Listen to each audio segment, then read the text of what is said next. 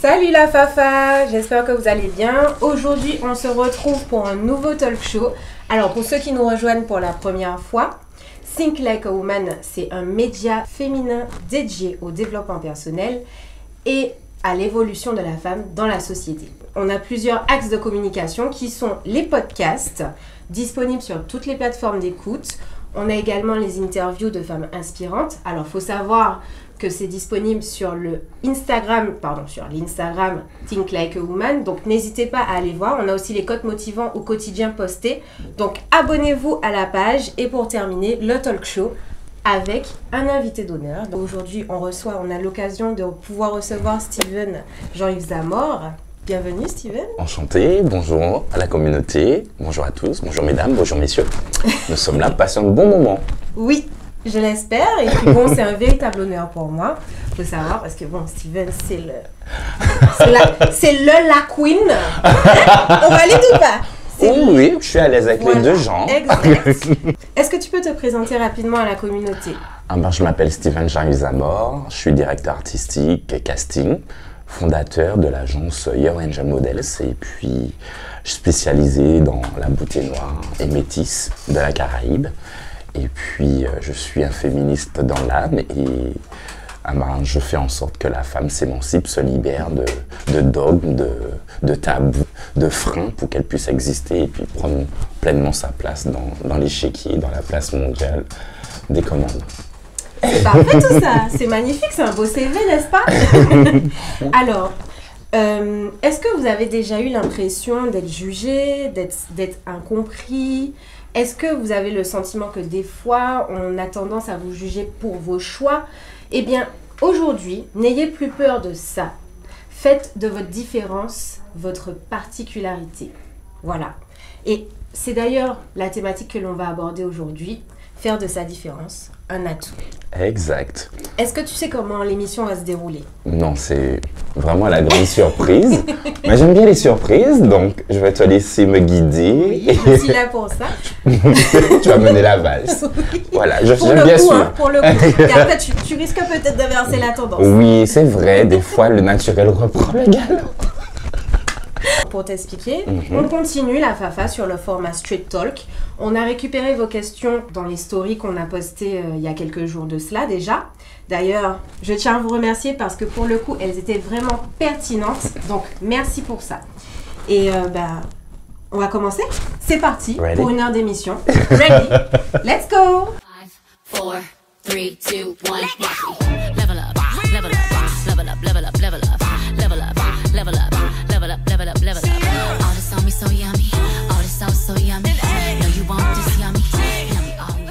prendre la boîte magique. Oh my god. Mhm. Attention avec les questions. à toi l'honneur.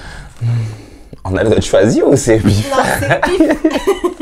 Mhm, Une main innocente. bon, qu'est-ce que j'ai tiré? Oh Oh my god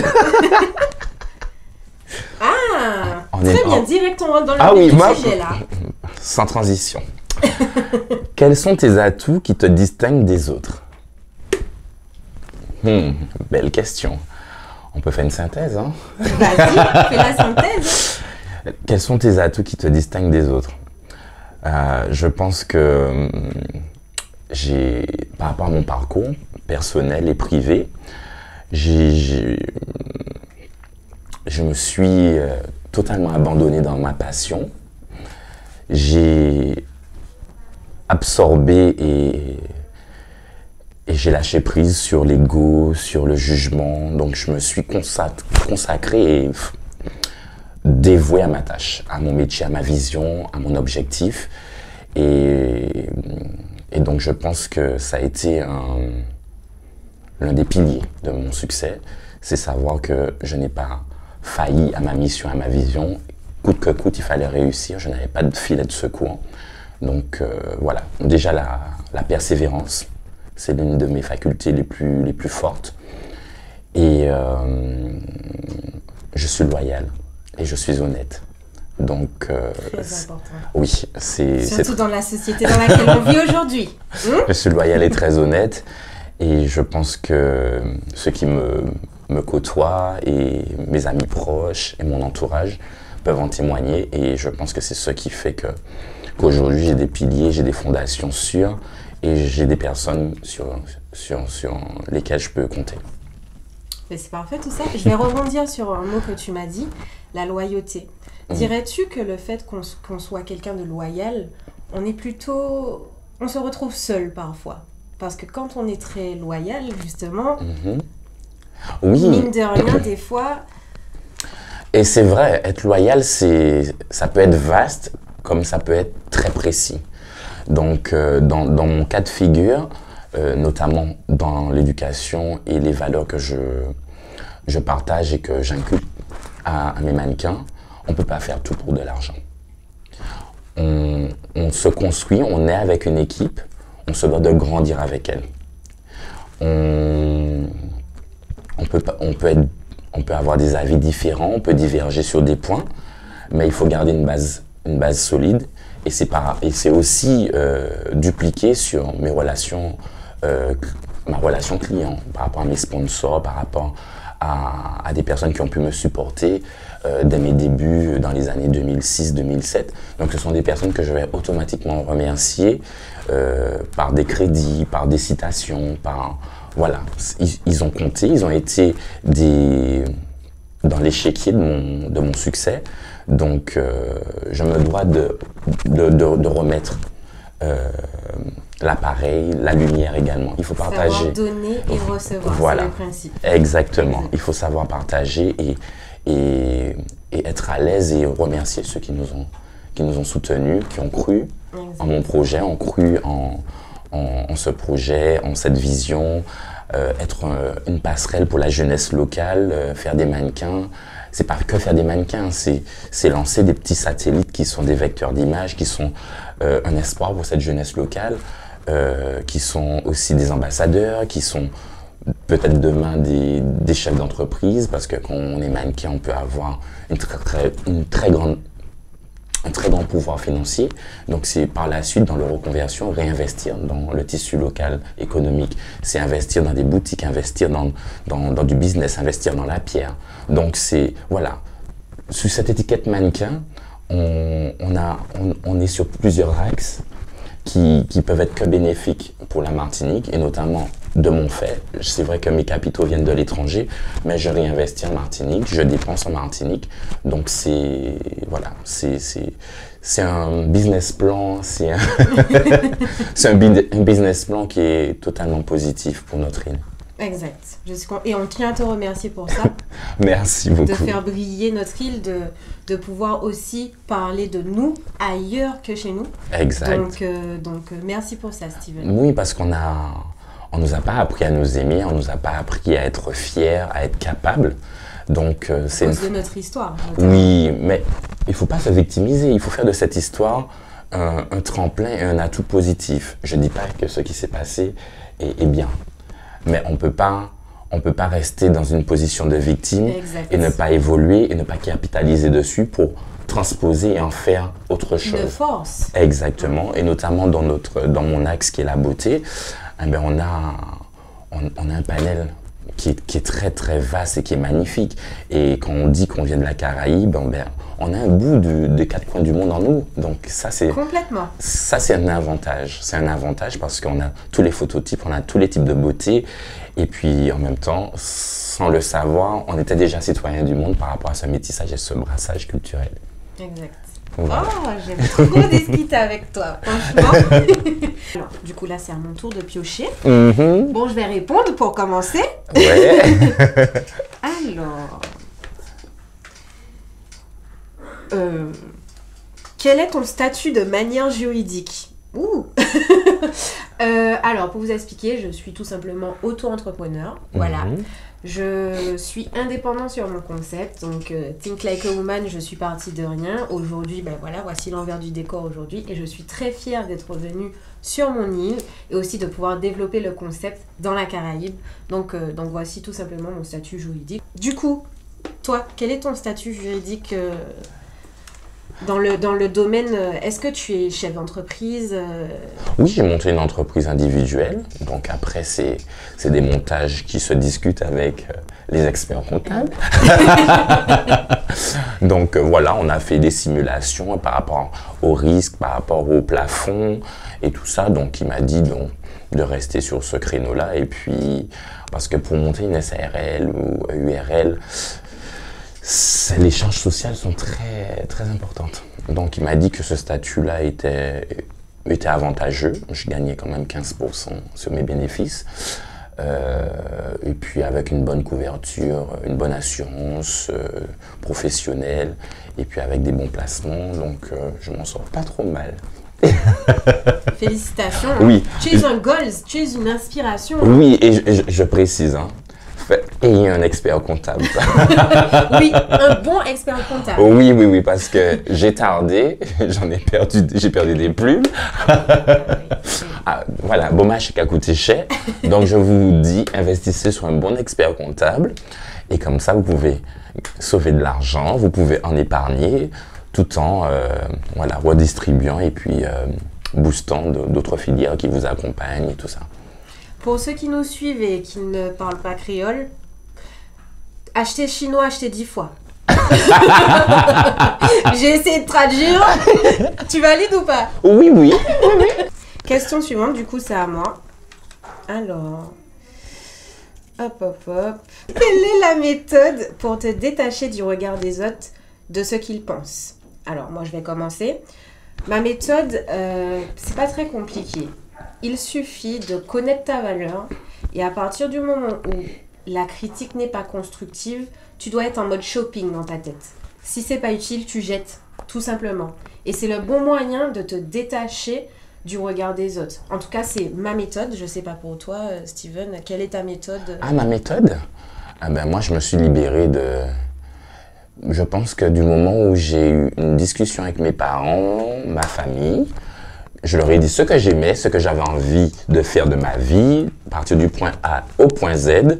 Et quand vous avez, euh, comme tu dis, quand tu sais ce que tu, tu, vaux, euh, les perspectives, que tu connais tes valeurs, tu connais tes limites, il faut faire une vraie introspection pour se connaître. Oui. Et j'invite les gens à faire cela. Oui. Donc, euh, j'ai mené une introspection pour, pour, pour connaître mes, mes, mes faiblesses comme mes points forts. Et une fois qu'on qu'on a une vision globale de tout cela et on sait manager sa vie vers un goal, après, on défonce toutes les portes et puis on se détache de, de, de, hum, du jugement de l'autre. Et puis, j'aime bien dire souvent, du moment que personne ne donne 5 euros pour payer les impôts, chérie, bye. Exact. Mais du coup, tu as parlé de travail d'introspection. Oui. Est-ce que tu dirais que ce travail d'introspection, il est nécessaire en passant par la solitude? Hum, solitude, oui et Dans non. le sens où faut être parfois seul pour se retrouver face à soi-même. On peut être en phase, euh, en pleine communion avec soi-même euh, en étant sur son lit le soir. Bien souvent, euh, j'ai dû faire face à cela parce que quand vous êtes, vous commencez à, gravir les échelons, à être connu. Donc, euh, moi, je me protège beaucoup, je préserve ma vie privée, je, je filtre les informations, je dis ce que je veux dire. Donc, bien souvent, certaines personnes s'arrêtent à la façade, à la façade commerciale, mais euh, nous sommes des marchands de rêves. On vend du rêve et en même temps, je dois distiller des choses qui doivent être inspirantes, qui doivent être motivantes et qui doivent donner espoir. Donc, euh, tout ce qui concerne le, le back-office de ma vie privée, je, je préserve. Mais c'est vrai que pour être à l'aise avec les autres, aimer les autres, parce que c'est une question de communion et d'amour, pour pouvoir transmettre, il faut être déjà heureux et s'aimer soi-même. Et moi, je partage l'excédent. Donc voilà. Exact. Et cette introspection-là était cruciale pour moi parce qu'à un moment, j'ai. Oui, comme tout le monde, j'ai eu des doutes. Et, et surtout avec le jugement, les, les cases qu'on veut nous, nous, nous imposer, que la société voulait nous imposer, ah ben, euh, je me suis senti mal par rapport à cela et je me suis dit, je ne me retrouve pas par rapport au schéma qu'on voulait, euh, qu'on veut nous Le dicter. conditionnement qu'on nous a inclus dès la Exactement. enfance. que Voilà, les filles jouent avec les ça, Barbies, les garçons avec les, les voitures, il faut être marié, un papa, une maman, deux enfants. Voilà, des clichés. La vie est faite de plein de clichés. Et donc, euh, je me suis dit, mais c'est pas comme ça que je me perçois, que je me conçois. Voilà, c'est comme ça que je me suis dit, non, il faut que j'aille à la conquête de ma liberté, de la liberté d'exister, de penser. Parce que même si on vend du, du rêve, on parle de chiffon, tout ça, j'ai un cerveau, hein, je vous rassure. Je peux pas trop dire de choses piquantes sur les réseaux. Ça fait partie un peu du game. Mais j'ai un cerveau, je mène des réflexions et ne rien dire ne veut pas dire qu'on ne comprend pas. Donc, euh, mais voilà, c'est dans, dans les petits salons ou dans des, des jeux mondains qu'on peut aussi faire valoir la pertinence de, son, de, la perception intellectuelle. Donc, euh, en partant de cette introspection-là, une fois qu'on se libère et qu'on a compris l'échec mondial, le mode de pensée et comment la société veut nous, vous ma- nous manipuler ou nous imposer, eh ben, on casse les codes et on se dit qu'on veut exister pour soi parce qu'on veut être heureux. Exact. Voilà. La liberté. Moi, j'ai fait un hold-up sur ma liberté. Et, et du moment où je me suis détaché de tout ça, eh ben, j'ai, j'ai été heureux. Et je suis bien dans ma tête, je suis bien dans mon corps. Et c'est ce que j'essaie de prôner. Et je dis aux femmes, voilà, vous faites le métier le plus difficile au monde. Vous êtes mère, amante, vous êtes euh, euh, femme d'affaires, vous, vous avez toutes les casquettes évitez de vous oublier. Voilà, trouvez des moments pour vous. Et c'est pas parce que vous êtes maman que vous pouvez plus être féminine, que vous pouvez plus être sexy. Non, il y a euh, organisez-vous pour trouver des nounous, filles au père, ce que vous voulez, ou lâchez chez mamie. Mettez-vous sexy. Mais Ça, c'est oui, le, le style antillais même. mais On mamie lâche chez les- mamie. Oui, Mais, là, mais Ouais. regardez, Oui, parce que c'est nécessaire, parce qu'à un moment, quand vous vous oubliez, le fait de vous oublier, ça veut dire que vous négligez votre partenaire. Oui. Et c'est là qu'il y a, qu'il commence à avoir un déséquilibre des balbutiements. Parce que l'autre a envie, euh, le mari ne voit pas ça du même. Exact. Il voit pas que vous avez toutes les casquettes, gérer la maison, gérer les courses, gérer les gosses, gérer votre carrière. euh, vous êtes au bord du burn-out, euh, au boulot, au cas avec des couillons, les choses vous chier. Mais c'est vraiment un microcosme qui peut être toxique autour de vous et en même temps vous faites un baby blues. Oui. Donc, à un moment, il faut vous libérer, vous dégager du temps pour euh, vous réapproprier votre féminité et votre existence. Parce que vous avez droit au bonheur et vous avez droit au meilleur. On adore. On a un commentaire de la séduction qui dit que tu sois béni, Steven. Merci aussi. Merci. Preach, my sister. Mais oui, et, dans mon introspection, j'ai aussi mené cette réflexion entre les sexes. Parce que j'ai observé, euh, ça c'est cette discussion que j'ai menée avec euh, ma, psycho, ma psychologue, parce qu'à un moment, je ne comprenais pas euh, certains points de mon cerveau, et, c'est là qu'elle m'a donné les ficelles, les outils pour comprendre ma, psychologie, parce que j'ai une psychologie autant féminine que masculine. Et donc, le fait d'observer les, gens et les deux sexes et leur interaction, j'ai pu comprendre plein de choses. Et c'est pour ça qu'en en, en distillant, en parlant aux femmes, je leur donne les outils, les, les- le discours et l'attitude à avoir pour qu'elles puissent eh ben, mieux interagir avec leur, leur, leur, leur mec et en même temps ne pas aller au conflit et obtenir du positif. Complètement. Voilà. Mais en fait, t'es un vrai coach là. Un petit peu, oui. En tout cas, tu as parlé de, de psychologue et je tiens encore à mettre le point dessus. Si vous avez du mal, n'hésitez pas à vous faire aider. Peut-être que le psychologue ne va pas vous parler, mais il y a aussi des coachs, il y a des coachs motivants. Alors, trouvez tout simplement la personne qui arrive à lever chez vous des leviers motivationnels pour provoquer un changement et le changement que vous souhaitez. Voilà. Exactement. On va faire une petite pause musicale? Yes. On va back it up un petit peu. Pourquoi pas, l'interlude. Eh bien, on écoute DJ Spinal, Wizkid avec Tiwa Savage, This Love. Mommy, oh, mommy, oh, mommy, oh. Girl, now me go to play that yo. Girl, if you be baby, I be nanny, oh. See how she fine like a granny, oh. Hi, hi, ça c'est la baquette. Ça, ça c'est la baquette. bon, c'était un petit moment fort agréable. On a eu chaud. Next question. Mhm. Alors c'était, c'est moi qui avais pioché. Oui. C'est mon tour. Tu peux faire deux fois si tu veux. Pour la parité, oui. Ah là là, mon Dieu. Ah. Encore des bonnes pioches. Mon Dieu. C'est l'univers, tu appelles. euh, Ça a été difficile d'assumer ta différence, ou plutôt, je dirais, ton unicité. Difficile, euh, oui, d'assumer parce que il fallait cette phase d'introspection, parce que je me sentais différent dans mon mode de pensée, dans mes goûts et dans mes choix. Donc j'étais déjà en décalage avec depuis le collège. tu te sens en décalage. Déjà euh, intellectuellement, j'étais déjà, je fréquentais euh, mes cousins qui étaient beaucoup plus âgés, mes cousines qui étaient au lycée, mais j'étais au collège, mais on avait déjà des discussions et tout ça. Sur le plan amoureux, j'étais déjà différent, mais bon, euh, différent, c'est un bien grand mot, puisqu'on peut aimer la glace à la vanille ou au chocolat. love is love. Et euh, oui, ça m'a. J'étais pas perturbé, mais euh, je trouvais pas ma place. J'avais déjà un esprit de grand, mais j'étais au collège. Donc du coup, euh, tu te demandes qu'est-ce que tu fais là?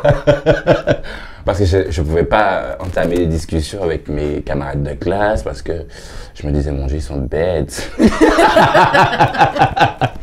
Je comprends ce que tu expliques. Et puis voilà, j'étais déjà dans une autre dimension, dans une autre introspection. Je, voilà, je, j'étais déjà un petit peu en panique parce que je, re- j'av- je regardais le monde déjà un peu comme il était. Je suis là, mon Dieu, j'ai pas envie d'être adulte. Donc du coup, j'ai baigné aussi dans un, dans un cocon familial, et dans un environnement familial, eh ben, très bon enfant. J'aimais, j'aimais des choses simples également. C'était mon rempart. On aimait aller à la rivière pêcher, euh, euh, aller à la chasse aux pigeons, aux tourterelles, et tout comme ça. J'ai, j'ai, j'ai vécu cette enfance-là, mais une enfance dorée.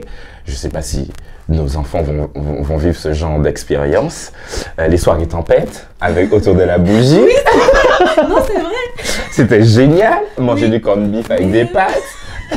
on était contents. Ah oui, avec mamie qui te raconte des anecdotes, zombie barré de mou.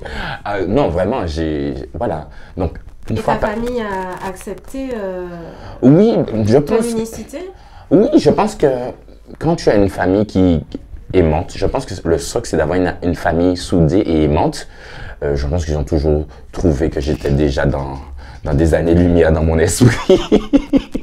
et donc, ils m'ont, ils m'ont toujours éduqué et accepté comme les autres. Donc, euh, avec amour. Voilà, sans, sans distinguo. Et donc euh, là, ça te permet de te construire et te focaliser sur d'autres euh, problématiques. Comment tu trouves ta place dans ce panel de choix que la société te, te propose sans pour autant trouver ton compte? Donc c'est pour ça que je me suis dit, non, je vais créer ma plateforme. Donc j'ai créé mon univers, j'ai créé ma trendbark, j'ai j'ai créé l'espace où je me sentais euh, libre, à l'aise et puis en cohérence. Et donc en prenant cette liberté-là, eh ben, je me suis rendu compte eh ben, au fil des années que j'ai créé un espace pour des jeunes qui se sentaient mal. Donc euh, c'est vrai qu'il y a des, des- Sans le vouloir, eh ben, j'ai été une figure pour, pour des jeunes et notamment avec la sortie de mon émission télé sur Canal+. Félicitations. Merci. Donc j'ai eu plein de messages de jeunes qui sont forcément peut-être dans des campagnes, dans des endroits retirés où ils- voilà, il y a un message qui m'a fortement touché, c'est que un jeune m'a laissé sur Instagram en me disant que euh, il était content de m'avoir trouvé parce qu'il se sentait euh, bizarre et que maintenant qu'il me voyait à la télé, eh ben, il, il se disait eh ben, qu'il avait sa place, qu'il n'était pas normal. Je lui dis, mais être, être unique, c'est être unique, c'est ta force. Exact. Et nous sommes tous uniques. Donc, je lui dis, tu n'as pas à, à rougir ni à avoir peur. Je lui dis, par contre, je suis ravi que tu puisses puiser dans mon existence, dans ma présence sur la, scène publique, ben, une, une lueur d'espoir et puis un, un amour propre.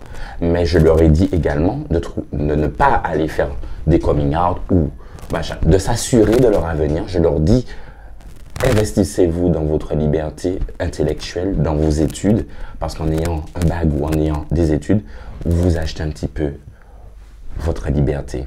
Donc, c'est c'est un peu dommage de le dire, mais avoir un pouvoir d'achat et d'avoir une place sociale, je pense aussi que ça, ça joue pour beaucoup. Donc, pour pouvoir l'ouvrir et exister, Ah, il faut avoir un bagou intellectuel, il faut avoir une position sociale. Ça ne fait pas tout, mais ça facilite les choses. Oui.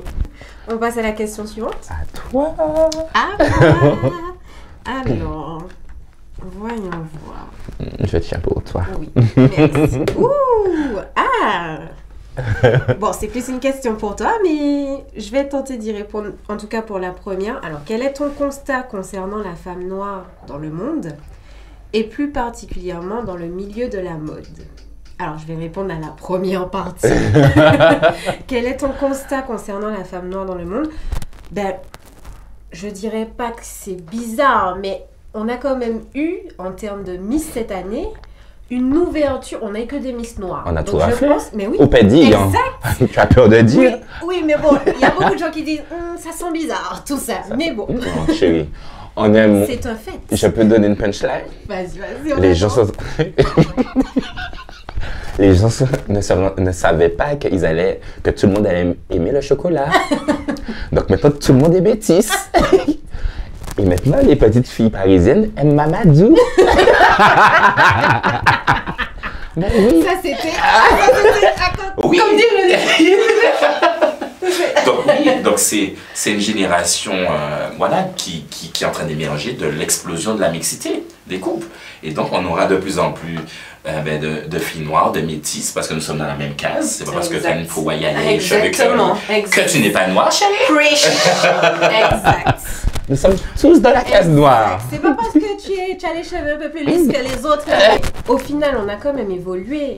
Aujourd'hui, grâce à Internet, je pense aussi notamment, on peut porter nos voix, on peut se faire entendre, Mhm. faire regarder tous les mouvements qui se créent aujourd'hui autour de la femme noire. Il y a une vraie sororité aussi qui se met en place. Alors là où je veux quand même mettre un point sur la sororité, c'est que j'ai quand même ce sentiment, alors ça reste mon sentiment, Mhm. Que la sororité africaine, c'est-à-dire la, la- la- la- quand les femmes d'Afrique, Mhm. d'origine, qui ont cette culture de, de- de l'Afrique même, Mhm. nous on est africaines aussi, mais on a une, une double culture qui est l'Afrique et l'Occident. Mhm.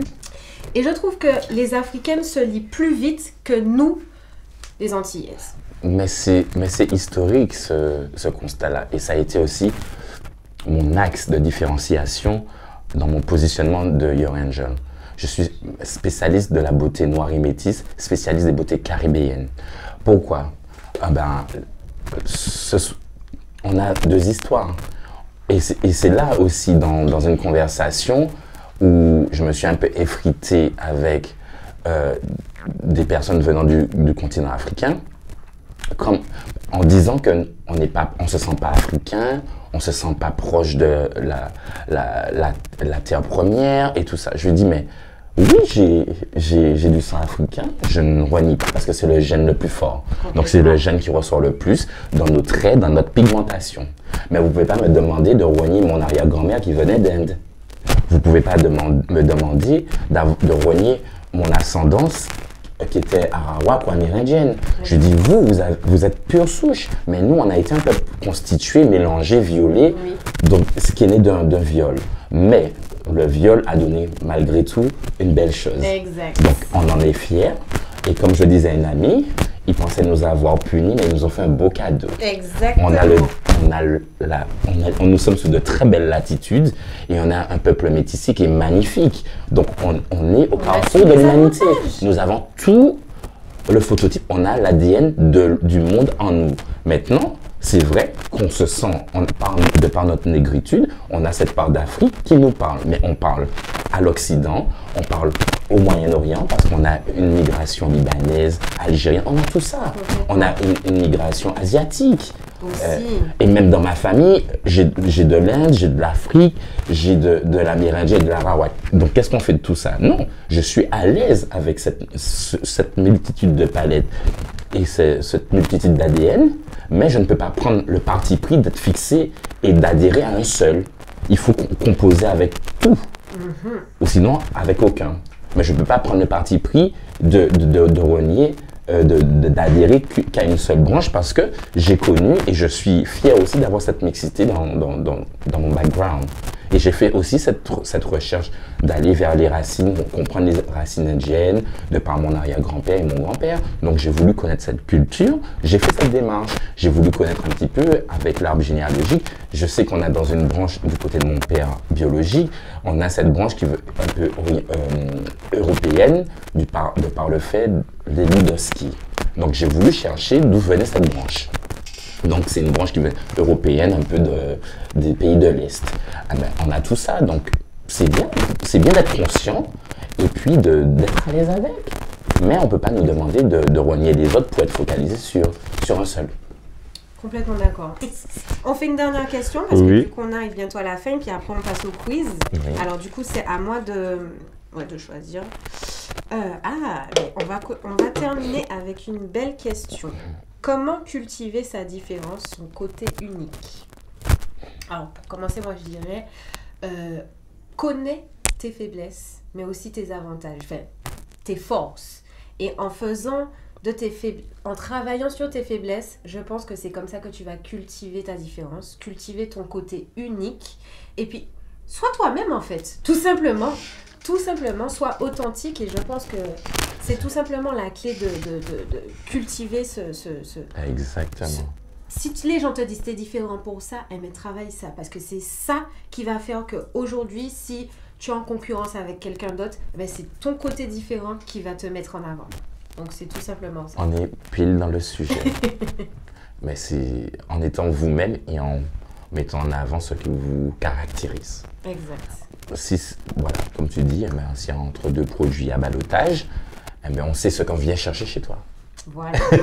Complètement. Cette saveur, cette authenticité, cette euh, sensibilité, parce que des fois c'est une question de sensibilité, d'angle d'approche, de perception et de transmission et d'alchimie. Donc c'est une question de ça. C'est une question, voilà, d'interaction et qu'est-ce que tu donnes à l'autre et qu'est-ce qu'il te rend en retour? Exact. Et bien on va terminer avec le quiz. Soirée mondaine ou soirée déguisée? Déguisé. Rhum ou champagne? Champagne. Talon ou basket? Talon. Bah oui. Naomi Campbell ou Tyra Banks? Naomi. Musique ou mode? Euh, Joker. Joker. Martinique ou New York? Martinique. Catwoman ou Batman? Catwoman. Denzel ou Zouk? Denzel. Karma ou vengeance? Karma. Amour ou sexe? 52. Power ou Empire? Empire. Défilé ou shooting? Défilé. Bad boy ou gentil garçon? Bad boy. String ou boxer String. Jupe ou, ou pantalon? Euh, jupe. Il fait Miss chaud. ou mannequin Mannequin. Team sage ou impulsif Sage. Le wifi ou la wifi Le wifi. Cardi B ou Nicki Cardi. Thank you baby, ça y est, c'est bon, je Mm. valide. du coup, la Fafa, on vous remercie. On vous remercie d'avoir passé cet instant avec nous. Je terminerai ben, par une petite conclusion où je vous incite tout simplement à oser être vous-même, à oser cultiver cette différence que vous avez en vous. Et puis là où vous devez faire un réel travail, c'est dans votre capacité à accepter le rejet et à ne plus vivre dans le regard des autres. Voilà. Donc, euh, c'est un fait, hein, on ne peut pas plaire à tout le monde, alors qu'attendez-vous pour être vous? Vivez votre best life. Yes On se retrouve le mois prochain pour un- Mhm. une prochaine émission avec un nouvel invité. Mais en tout cas, je tiens à te remercier, Steven, parce que j'ai passé vraiment un agréable moment avec toi. Merci beaucoup Très de m'avoir reçu et plaisir partagé. Bon, ben, on termine avec une petite musique, avec de Lu City et Black Boy, Money. Mmh. Non, c'est mauvais, pardon, Money. Ah, je pense Tu à l'argent. main? Ah! Aïe, aïe, aïe. Et, et, Mauvais temps, bye bye. Mauvais temps, mauvais temps.